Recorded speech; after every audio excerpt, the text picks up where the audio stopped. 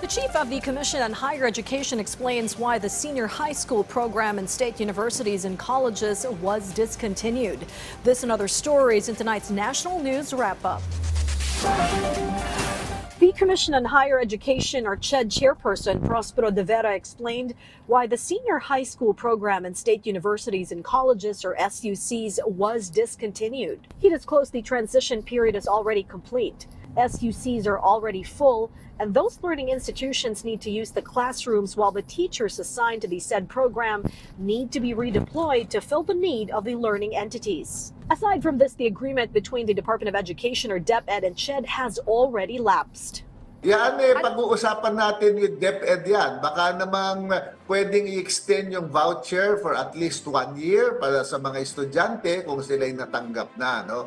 Pero hindi ko ayaw kong pangunahan yan na titignan muna natin kung ano ang magiging desisyon ng mga Board of Regents ng mga universities. Kasi merong mga ibang public universities, hindi naman sila tumatanggap na ng voucher. The Anti-Red Tape Authority or ARTA focused on further expediting and improving the processing of government transactions in 2023. ARTA Secretary Ernesto Perez said the agency will continue the implementation of its e-boss or electronic business one-stop shop program, which has earned the approval of business owners as the processing of their transactions with government was reduced to an average of one hour. Malinaw po ang mandato ng Anti-Red Tape Authority.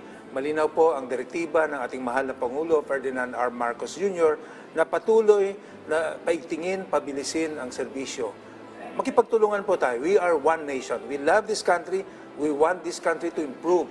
And no less than our private stakeholders, even foreign chambers, ambassador, are upbeat about the economic prospects of this country. So we cannot go wrong with this.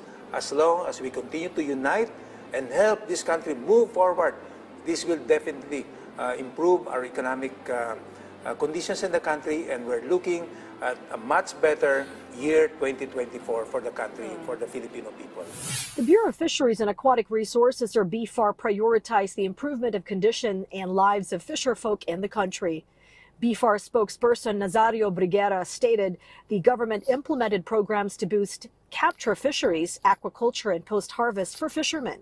Si Pangulong Bongbong Marcos Jr. mismo po ang nag-aproba nito. Ah, ito po ay nagkakahalaga ng 11 billion pesos na proyekto. No po? At ito po ay ipapatupad natin ngayong taon. Ang magiging direction po nito ay ang pagkakaroon ng diversification ng livelihood sa ating mga mangingisda.